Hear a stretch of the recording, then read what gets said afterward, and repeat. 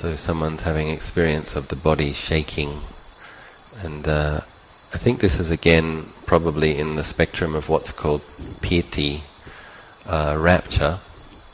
So in the factors of jhana, vitaka, vichara, piti, sukha, ekaggata. So five factors.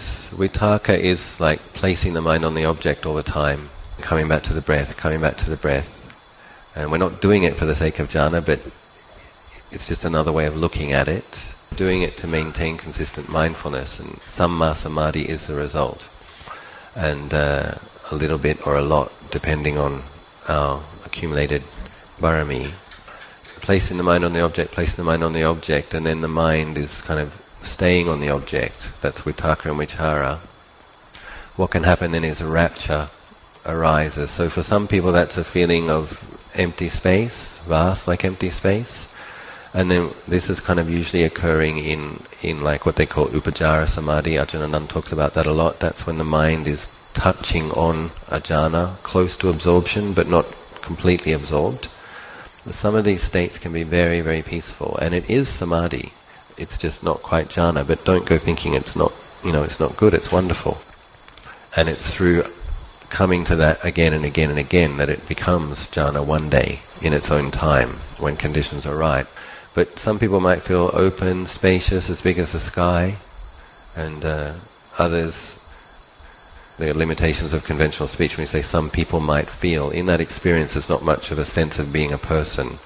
The mind is experience a sense of incredible spaciousness other people can feel really solid and heavy like a mountain but it's not unpleasant. It's this feeling of kind of immovable firm at the same time it's very cool.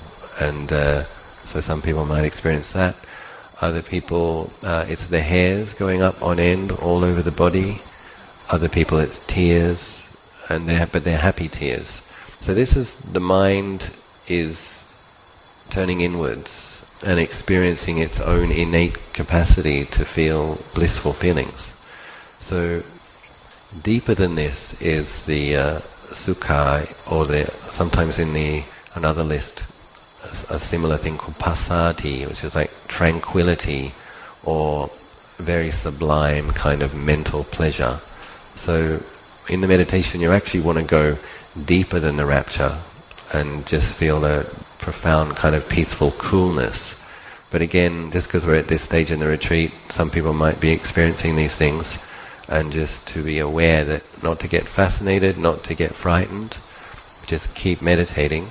And if you can understand that that kind of phenomena, the trilling sensations, the tears, the huge space, the heaviness, the hair on end. You see that as like waves on top of an ocean, and, and the coolness, the deeper, when the samadhi is getting deeper, you see that as like diving down deeper. You want to go past and deeper into deep tranquility. And uh, so again, uh, we get this stage where the mind starts getting sensitive and interesting things start happening. We have to, we have to guard not to get fascinated, not to get frightened, not to crave. All the other ways the hindrances can start manifesting on a more subtle level.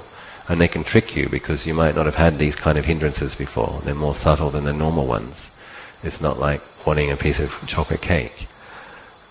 Then just staying, and not to be frightened either. If the mind starts to feel like more peaceful than it's ever felt before, not to be frightened, just stay there. And what will happen is the mind will move from its peaceful state. And then Ajahn keeps instructing us, then we investigate the nature of the body, the elements, body parts, three characteristics. At that time, although the mind will feel like it doesn't want to meditate anymore and be very happy, it actually has a lot of energy in it, and you have to be careful what you do at that time. And it's a very good time to investigate because the mind has more clarity and more energy than normal. So that's when you put it to work and the uh, investigation goes deeper. And you might find that through the power of the investigation then the mind becomes peaceful again and so this way wise contemplation and samadhi support each other and deepen each other. So you have a great meditation, you don't have to get up and tell everybody. Keep going. It might get better and better and uh, it will get better and better. So that, this kind of shaking, I think, is what it is. At the same time, I wouldn't try to feed a physical shaking. So if you can hold the body fairly still, what you might find is feelings of rapture in the mind. So it's like the mind is like probably waving with rapture. You, the body's going with it. But if you hold the body still, not in really controlling, but just kind of steady and peaceful, you might feel that energy rippling through the body, and uh, but it's probably good. And this person mentions that when they were asked for forgiveness and they felt that they were forgiven for a particular thing, they felt a lot of shaking, but there was a felt forgiven. I would assume is a very pleasant feeling. So I think I'm going to answer this person's questions one on one with Ajahn Pavro because it's very specific advice to one person, but just. Uh, after radiating metta, which I practice before my sittings, it's easy and smooth for the mind to settle, followed by beautiful peace, stillness, no thoughts, and when thoughts come, they go, they just go by without much effort. Of course, I have my in and out breath, but what happens next is that the breath becomes soft and subtle, and at times I don't know it's there. At this point, my mind is so clear, and I realize that she was using the word mass in a question last, is actually the clarity and the beautiful space. It goes on and there is the feeling of a push and it gets clearer and after each push it's clearer and it's like uh, space through glass.